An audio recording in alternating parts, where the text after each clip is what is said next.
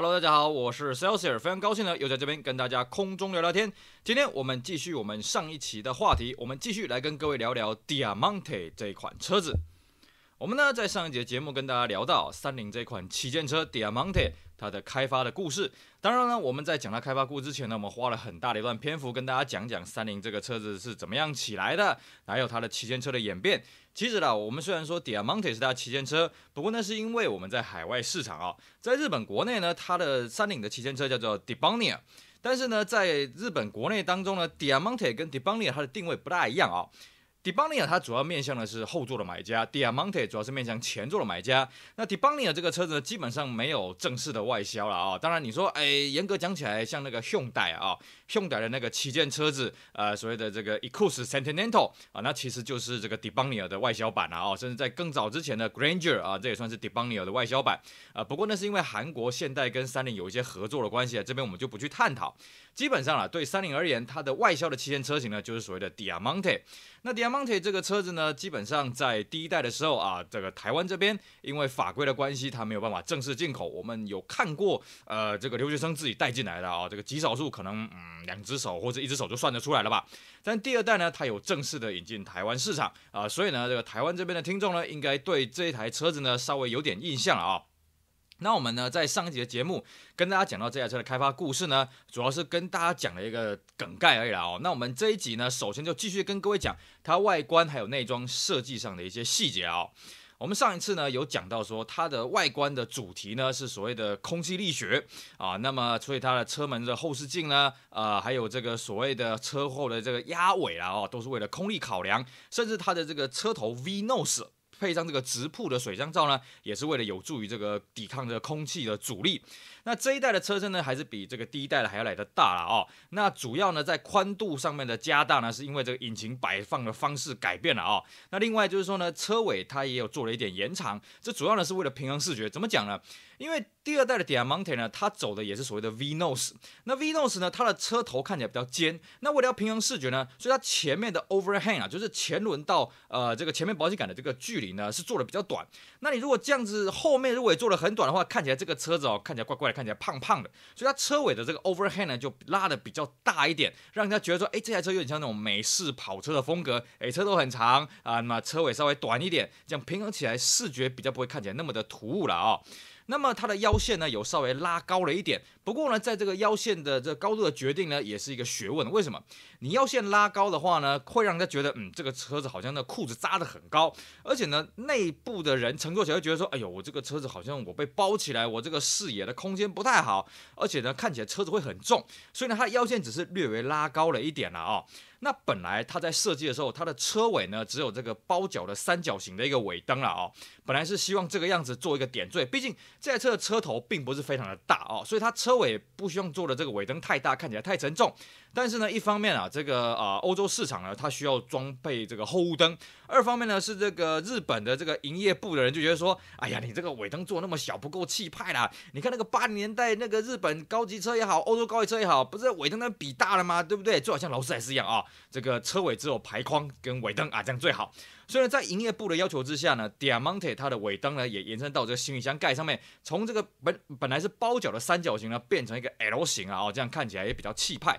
啊，那么本来呢，在这个外观的设计上面呢，它里面已经开始采用了这个电脑辅助的 CAD 的辅助了哦。不过这边有个很好玩的故事哦，呃，这个 CAD 在当时呢算是一个刚出来的东西啊，所以他们那个时候解析度不是很高，啊他们有在讲，诶，那个荧幕的画面哦不是很清楚，所以他们那个公差啊，在这个实际在切削的时候，公差有大概两两 millimeter 了啊。变成说，它到时候实在切削之后出了一些问题啊，后来还是做调整，等于说这个时候的车子开发呢，是属于人工过渡到电脑的这个阶段，所以常常有些磨合上的一些问题了啊。那内装的方面呢？比起外观啊，外观很早之前就提出了很多方案，毕竟外观呢它是沿袭的这个上一代的这个风格，在做一些修正嘛，哦，所以外观它的起步比较简单。那内装呢，基本上是直接到最后一秒钟才拍板定案了啊，因为呢，这个第一代的内装当然有被人家批评一些问题，比方说操作界面太低啦，按键太复杂啦。不过呢，整体的氛围还有评价都还算不错。那第二。代的这个内装开发呢，它希望不要有第一代的太多的身影了哦，不像外观那样子。可是呢，又要这个找出自己的风格啊，让人家喜欢呢。所以呢，一开始这个内装的提案呢，就相当的天马行空了哦。那一开始甚至还有出现所谓的 L 型的一个中控台啊哦。但是 L 型的中控台呢，它很像当时的这个 Infinity Q 四五第一代的这个中控台造型。那也因为它实在太像这 Q 四五，所以被人家打枪说，哎，我们要走出自己的风格啊，我们不要像那个其他车子这个样子哦。所以呢，后来他就做了一个折中的设计，就是把 L 型的中控台呢，把它取消掉，而且呢，它中控台做这个左右对称，没有说这个倾向于驾驶座了哦。这样还有一个好处啦，你视觉上会比较平衡，看起来比较清爽，那空间的感觉会比较大一点，比较没有那个压力。至于在车身颜色方面呢，第一代呢，因为这个车身线条的缘故啊，所以它采用是比较浓的色彩，比较。亮度比较高的这个色彩系啊，哦，那因为这一代的外观比较不像上一代这么的浓重啊，哦，比较没有那么厚重的感觉，这一代外观比较清爽，所以呢，它的呃颜色走的是比较锐利一点啊，比较简洁一点的风格，总共有六个颜色。那在日规它的主打色呢，嗯，就翻译起来叫做和谐银啊，哦，是一个很明亮的颜色。那另外一个主打色呢叫做技巧绿啊，翻起来叫做技巧绿了啊，而且它标榜这个技巧绿呢，在室内跟室外，就灯光跟阳光打起来呢，那个层次是不。大一样的哦，那另外一个呢，它的就是日本人喜欢白色嘛哦，各位如果要了解日本人为什么喜欢白色车子呢，可以去找我们之前有一集节目，我们在谈论什么日本人喜欢白色的高级车哦。那它这个白色呢也做了一些调整啊，感觉比较冷冽一点，毕竟它这个外观比较锐利哦，所以它走了比较冷冽的这个白色呢，看起来比较搭配一些了哦。那内装部分呢？内装则是有两种颜色哦，灰色跟黑米两种，这个黑米双搭了哦。那但是呢，让他们很惊讶的是哦，黑米这个颜色呢，反而是在这个三菱内部公司调查的时候，很受年轻人的欢迎的。他们觉得这个东西很雅痞啊，哦，很这个潇洒的这个感觉。那么第二代的 Diamante 呢，是在一九九五年的一月发表啊。我们有跟各位讲过啊，这个第一代呢是在泡沫经济的时候开发了，泡沫经济的时候发表了，所以卖的非常好。那第二代呢，嘿嘿，这个时候泡沫经济已经瓦解了啊，已经瓦解了两年多了。那么它这个发表的时候呢，它就没有像第一代办的那么盛大的发表会。不过呢，它的车型的结构呢，还是跟第一代一样，有前轮驱动跟四轮驱动。而且呢，这一代开始标榜了 RISE 的这个高刚性车体了啊。那 RISE 是哪些字的简称？我觉得这个大家可以去。查一查，反正就是一个口号而已啦，我也看不出来它有什么特别的安全。那在引擎的部分呢，这比较有意思啊。我们在上集节目跟各位讲，它为了要开发出一个新的省油兼具动力的引擎呢，它开发一款2.5 MVV 的这个新款的引擎了啊。那除了这款引擎之外呢，它还有两款啊，还有三款引擎。那最令人注目的就是它3.0哦，它3.0有推出所谓的 MyVic，就是三菱的正时可变气门系统。那这个马力输出到270匹啊啊。那如果没有 MyVic 的呢，3.0是230。十匹，另外还有一个二点五的这个双凸轮轴引擎的这个两百匹的马力了啊。那上一代本来有两千 CC 的呢，啊也被废止掉，因为这个这个实在是动力不大够。那在配备上面呢，比较有意思的配备是它有声控的 GPS，不要怀疑是声控了啊，只是不知道这个操作起来到底灵不灵光了啊。那还有所谓的雷达车距定速啊，但是这个我不确定是不是一开始就有了啊。那还有所谓的高反差仪表啦，还有我们上次跟各位讲到了它的变速箱是五速手自排，不过这个五速手自排是没有外销了，只有在日本国内有啊。这样这些配备这样加起来，以一台泡沫经济瓦解之后才推出的车子，我觉得它算是很有诚意的了哦。那除了四门以外呢，它的五门的车型在一九九七年十月才改款。那它五门的车型基本上只有三点零的单凸引擎啊，变速箱呢。也是进化到了武术手自排了哦。那它的整个阵容呢，基本上就是我们讲的这个二点五前驱，还有这个三点零四驱。那其中呢，这个顶级的三点零还有配到这个电子动力方向盘了哦。那四轮驱动呢，因为它动力的关系，所以它就配到我们刚刚讲的这个三点零的 MyVac 这个引擎。那么在一九九六年的一月呢，它做了一次配备的调整哦，把双安跟预警安全带列为标配，而且把 ABS 的这个配备呢放到大部分车型了啊。那一九九六年的六月呢，追加了一款二点五的 Aspada，为什么呢？诶，因为呢这个车子卖的不是很好，所以它追加了一款阳春的版本，算是一个经济实惠的车型啊。那九七年的八月呢，日规第一次小改啊，那保杆呢，整个是全面车身同色化，那尾灯呢改成分割型的。什么叫分割型呢？其实你乍看之下，你会觉得，哎，它就是把前期的尾灯呢中间加了一个这个这个装饰片，哎，其实不是啊，你仔细看一下，它那个尾灯真的是有改过了啊，看起来呃比较有层次感。那么到了九九年的九月呢，第二次小改款啊，第二次小改款有个很重要的事情是什么？它推出了所谓的 GDI 缸内直喷引擎啊。我们都知道，三菱在九零代末期呢，最受这个瞩目就是所谓的这个直接点火缸内稀薄燃烧直喷引擎了啊。但是呢，它这颗引擎呢，嗯，我觉得也蛮好玩的。它推出的这个算是科技的引擎，可是它的变速箱却变成了四 AT 啊哦。那尾灯呢，也把原本的倒 L 型 L 型呢改成了这个三角直立型了哦。到两千年八月呢，开始标配了侧面安全气囊，还有雾灯。那两千零一年呢，在海外的这个水箱罩有做了这个鹰眼的啊，这个鹰钩鼻的这种造型哦。对不起，日规没有做这个修改。那么两千零二年的十月呢，进行了第三次小改了啊，主要是对应这个引擎的一些排污的法规。那外观的镀铬件呢，有稍微一点修改了啊。但是呢，这一次多多了一个很好玩的配备，叫什么？叫做 Nardi 方向盘啊！哇，这个质感非常的好。但是呢，很可惜啊啊，这个在两千零四年的第呃第四次小改的时候呢，把那个 Nardi 方向盘给拿掉了啊，然后冷气的面板也有稍微改了一下。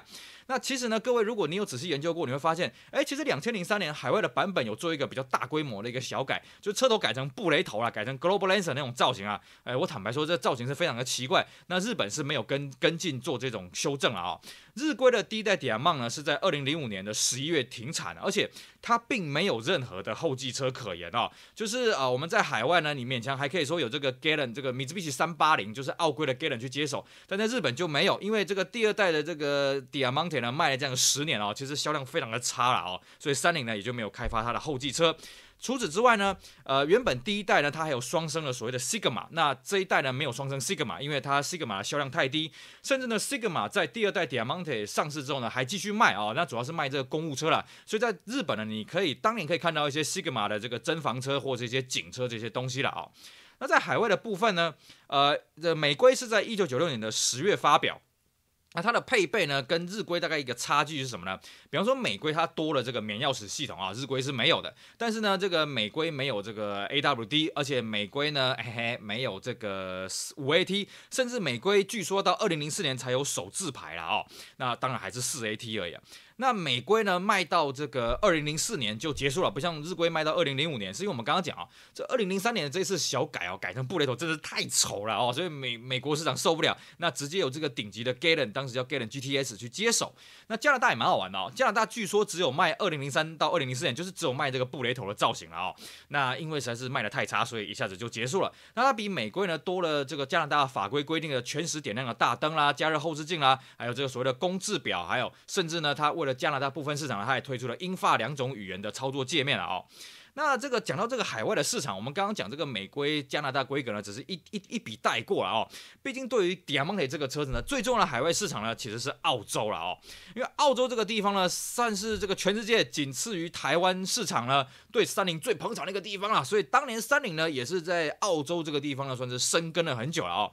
澳洲呢是在一九九六年的四月跟一九九六年的九月分别推出了这个 Magna 跟 Verada 啊这两款车子了啊。那 Magna 的定位就是比较入门的，它有二点四的四缸引擎，三点零、三点五。那 Verada 呢是只有三点五的这个单一规格，而且据说了哈，这个澳洲为了推出这个车子呢，花费了五十亿的澳币啊哦，当时还被杂志调侃说，嗯，这个车子超级有诚意啊，看他花那么多钱呢，就觉得嗯，这个车子应该值得买了啊。那澳规的结构呢，跟日规上还是有些不同啦哦。比方说，澳规的前避震呢，它修为了这个这个售价了哦，所以它把它修改成前麦花臣。日规的前避震呢，还是那种泡沫经济的那种多连杆。那再来就是澳规呢，它没有采用这个足柱式的手刹车，它是用传统的手刹车。甚至呢，在九七年的三月，澳规还推出了五门的版本哦，而且这个逆销回去日本啊。所以我们刚刚讲到，日本发表的五门版其实是澳洲制造的啦哦。而且澳制的这个 Diamante 算是 Diamante 这款车的外销主力。比方说北美市场哦，北美市场大部分都是澳洲原装出口的，那少部分是日规了，就是说澳规这边生产不久，采用日本去销过去啊。那像台湾这边呢，也主要是这个澳洲原装进口了啊。这个故事的背景是这样子哦。当年呢，我们一九九七年呢加入 WTO 之后啊，因为必须要遵守 WTO 的这个规范，所以必须要开放这个进口车。那当时呢，这个我们一般的这个车商都去抢所谓的日本制造的配额嘛，哦。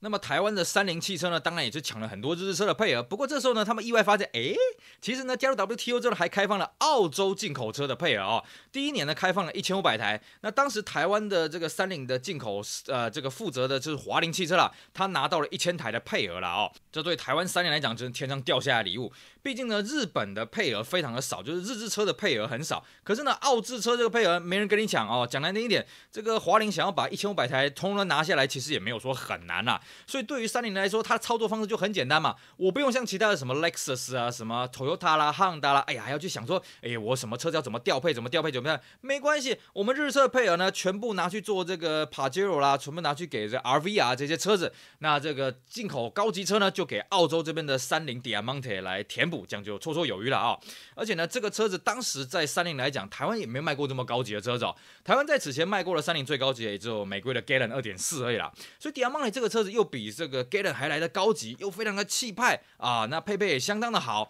所以呢，这个华菱觉得，嗯，这个东西弄进来啊，一定很很有竞争力。更重要什么？那时候澳币的汇率也相对比较低一些啊。所以这批车其实竞争力是相当强的啊。呃，比方说呢，它的车长已经将近五米了啊。那么轴距也是二米七二啊，相当的长。那行李箱四百七十公升，配备也是相当的不错，什么自发光仪表啦、图像恒温啦、四速手自排、无窗框车身啊、后呃这个中控啊、电动后视镜、电动窗、双安预警式安全带、自动大灯、速度感应雨刷、呃碎花铝圈、呃抗紫外线玻璃，夯不啷当有的没的啊，配备非常好。重点是它这个车售价非常的低啊哦，当时发表的时候只要一百四十八万台币啊，哇，这个是同一车最低的。当年啊，这些日本这个高级进口车呢，有所谓的四大天王了啊，这个凌志 LS 四百、Infinity Q 四五四点一啊，还有 Honda Legend 还有这个 Mitsubishi Diamante，就 Mitsubishi Diamante 卖最便宜啊，因为 Legend 当时要卖一百八十八万台币，那 Lexus LS 四百呢都两百多好多万了啊，那 Q 四五也是两百好多万了。